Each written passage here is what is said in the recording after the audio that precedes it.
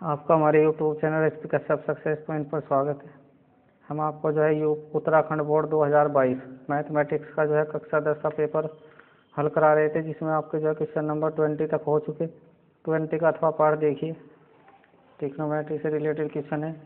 ये आपको प्रूव करना है। One plus cot A minus cosec A into one plus tan A plus sec is equal to two ये आपको prove करना है। इसमें आपको क्या करना है? एस उठा लीजिए। लेफ़्ट हैंड साइड उठा लीजिए इस क्वेश्चन की। ये हो जाएगा। One plus cot A minus cosec. A one plus tan A plus sec ये आपका क्वेश्चन हो जाएगा। देखिए, अब आपको क्या करना है? कोट को तोड़ लीजिए। कोट हो जाएगा आपका कोस ए अपॉन साइन ए। ये फॉर्मूला आपको याद होना चाहिए। कोसेक को आप लिख सकते हो वन वट साइन ए। ये हो जाएगा वन अपॉन साइन इसी प्रकार यहाँ से टेन को तोड़ लीजिए। साइन ए अपॉन कोस ए और सेक हो जाएगा आपका वन अपॉन कोस ए एल्शियम लीजिए इनका, ये हो जाएगा। Sine A plus cos A minus one upon sine A इधर देखिए हो जाएगा। Cos A plus sine A plus one upon cos A cos A की मल्टीप्लाई इधर हो जाएगी। अब ध्यान से देखिए ऊपर। ए माइनस बी और ए प्लस बी आइडेंटिटी बन चुकी है आपका। ए हो जाएगा बी हो जाएगा। ये फॉर्मूला बन चुका। A square minus B square तो ये हो जाएगा one minus one plus cos A का होल स्क्वायर माइनस वन का होल स्क्वायर अपॉन नीचे दोनों की मल्टीप्लाई गुना हो जाएगी साइन ए इंटू कोस ए इसका होल स्क्वायर ओपन कर दीजिए। तो ये हो जाएगा sine square A plus cos square है, दोनों के गुना का डबल दोनों की मल्टीप्लाई का डबल हो जाएगा two sine A cos A minus one नीचे एज इट इज़ जो का तो रखिए, ये हो जाएगा। और ये आपको पता है वन होता है। इसको वन रख दीजिए वन हो जाएगा। ये आपका as it is sine A cos A ये आपका एज इट इज़ नीचे जो का तो रखिए वन से वन कैंसिल हो जाएगा। क्या बचा ऊपर? टू साइन ए कोस ए नीचे है आपका साइन ए कोस ए इससे कैंसिल हो जाएगा, कितना बचा ये टू हो जाएगा। ये आपको प्रूव करना था। Is equal to R H S इस प्रकार से क्वेश्चन आपको करना है। नेक्स्ट देखिए, काफ़ी अच्छा क्वेश्चन है।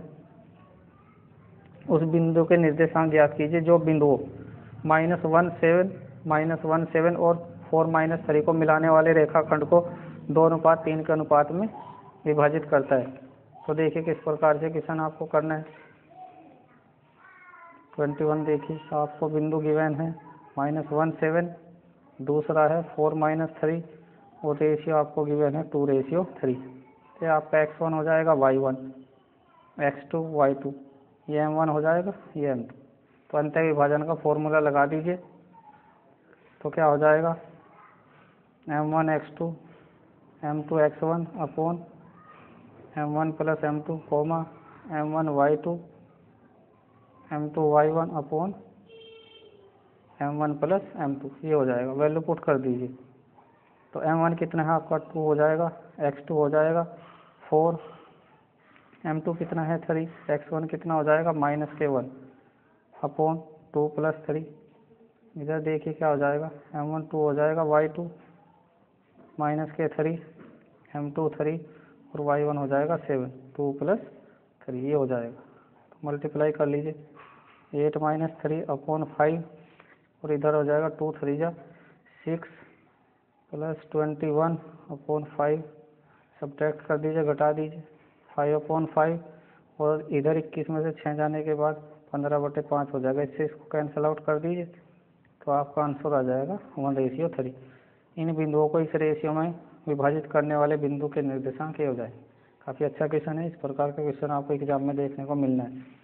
नेक्स्ट क्वेश्चन भी मोस्ट इम्पोर्टेंट है।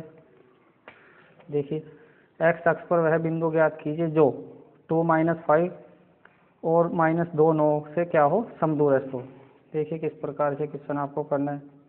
ट्वेंटी टू आपको बिंदु गिवन है टू माइनस फाइव और दूसरा हो जाएगा माइनस टू नाइन एक्स अक्ष पर कोई बिंदु मान लीजिए एच ज़ीरो क्योंकि एक्स अक्ष पर वाई ज़ीरो होते हैं। इसको ए मान लीजिए, इसको बी मान लीजिए, माना। ये दो बिंदु आपको गिवन है, और एक्स अक्ष पर कोई बिंदु पी मान लीजिए एच ज़ीरो तो ये पी आपका किस प्रकार का बिंदु है? पी ए बराबर पी बी के। ये जो डिस्टेंस है पी ए के बीच की डिस्टेंस है और पी बी के बी की डिस्टेंस है, ये इक्वल है। तो अकॉर्डिंग टू क्वेश्चन प्रश्नानुसार जो आपका पी ए है पी बी के इक्वल है। पी ए जो है पी बी के इक्वल है। दोनों साइड का स्क्वायर कर लीजिए। दोनों साइड का वर्क करने पर। वर्क करने से फ़ायदा होगा, आपको अंडर रूट नहीं लगाना पड़ेगा। तो निकालिए पी ए निकालिए। पी और ए के बीच की डिस्टेंस पहले भी ये क्वेश्चन करा चुके इस प्रकार का। तो पहले में से पहला घटाइए। एच माइनस टू का होल स्क्वायर प्लस दूसरे में से दूसरा घटाइए। ज़ीरो माइनस माइनस यहाँ पर पहले से प्लस हो जाएगा। इसी प्रकार से पी भी निकालिए। पहले में से पहला घटाइए एच माइनस पहले से है प्लस हो जाएगा। होल स्क्वायर प्लस ज़ीरो में से नाइन घटाइए होल स्क्वायर ये हो जाएगा। तो देखिए इसके बाद इसका स्क्वायर खोल लीजिए एच स्क्वायर टू टू जा फोर दोनों की मल्टीप्लाई का डबल हो जाएगा फोर एच यहाँ पर हो जाएगा ट्वेंटी फाइव इधर एच स्क्वायर फोर दोनों की गुना का डबल ये हो जाएगा फोर एच और ये हो जाएगा आपका नाइन का स्क्वायर हो जाएगा एट्टी वन इस प्रकार से। बराबर से इधर उधर सेम साइन के जो है इक्वल वैल्यू कैंसिल आउट हो जाती है। एच स्क्वायर से एच स्क्वायर कैंसिल हो जाएगा फोर से फोर कैंसिल हो जाएगा। अब इसके बाद देखिए फोर एच और ये फोर एच इधर आने के बाद कैसा हो जाएगा? नेगेटिव हो जाएगा एट्टी वन ट्वेंटी फाइव को बराबर से उधर ले जाइए। तो ये हो जाएगा एट एच कितना बच जाएगा? फिफ्टी सिक्स एट से कैंसिल आउट कर दीजिए सेवन आ जाएगा।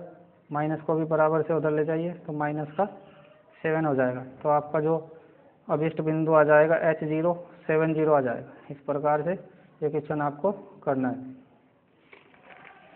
नेक्स्ट देखिए। क्वेश्चन नंबर ट्वेंटी थ्री पर आ जाइए। आपको जो है छायांकित भाग का एरिया निकालना है। तो कुछ नहीं करना है, आपको वर्ग में से जो है दोनों अर्धवृत्तों का घटा देना, ये भी फोर्टीन ये भी फोर्टीन तो वर्ग के चारों साइड फोर्टीन सेंटीमीटर है। अर्धवर्त का व्यास चौदह हो जाएगा, त्रिज्या कितनी हो जाएगी? सात सेंटीमीटर तो आपको क्या करना है, वर्ग में से दोनों अर्धवर्तों का घटाना है, छायांकित भाग का एरिया आ जाएगा। काफ़ी अच्छा क्वेश्चन है। क्वेश्चन नंबर ट्वेंटी थ्री क्या करना है आपको? छायांकित भाग का क्षेत्रफल निकालना है। छायांकित भाग का क्षेत्रफल निकालना है। तो ये हो जाएगा एरिया ऑफ़ स्क्वायर वर्ग का क्षेत्रफल माइनस दो गुना अर्धवर्त का क्षेत्रफल। ये हो जाएगा। वर्ग का क्षेत्रफल ये हो जाएगा। भुजा की पावर टू अर्धवर्त का बताइए। One by two pi R की टू तो वैल्यू पुट कर दीजिए भुजा कितनी है आपकी? फोर्टीन टू से टू कैंसिल आउट हो जाएगा। पाई की value twenty two upon seven R कितना है? ये आपका जो है व्यास है, इसका हाफ़ हो जाएगा seven into seven two power है तो दो बार लिखेंगे, इससे कैंसिल हो जाएगा। फोर्टीन का स्क्वायर फोर्टीन की फोर्टीन में मल्टीप्लाई वन नाइन्टी सिक्स और बाईस की जो है साथ में मल्टीप्लाई करने के बाद one forty one fifty five आ जाएगा। इसमें से इसको घटा दीजिए सब कर दीजिए तो ये हो जाएगा आपका फोर्टी टू सेंटीमीटर की दो ये आंसर आ जाएगा। कुछ नहीं करना है, बड़ा आसान क्वेश्चन है। छांकित भाग का क्षेत्रफल निकालने के लिए आपको क्या करना है? वर्ग में से क्या करना है? दोनों अर्धवस्तों का घटा देना है।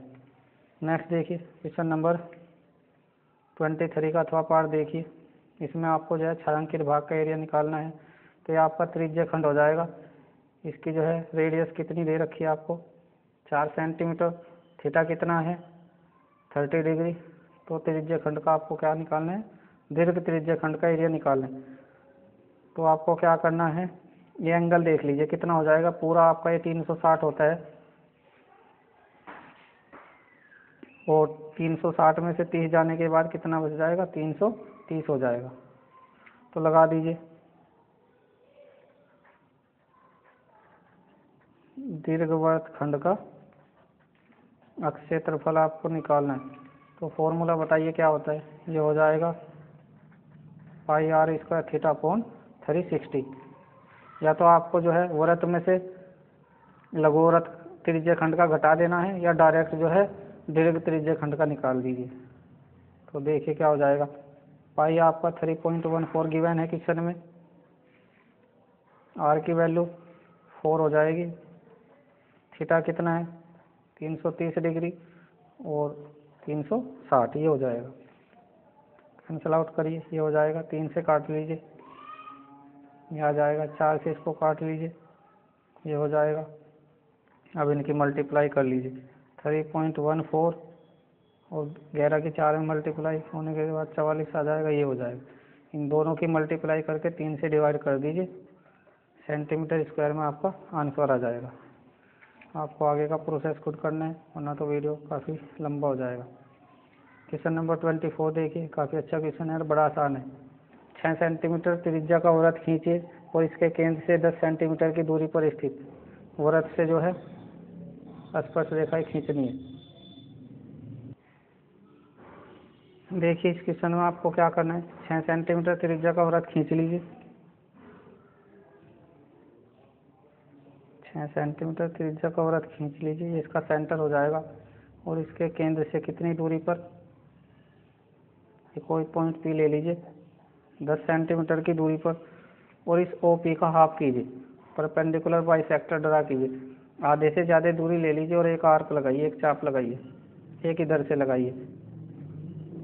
और इसको मिला दीजिए। ये पॉइंट आपका एम आ जाएगा। कुछ ही मान लीजिए। एम से पी तक की दूरी लेकर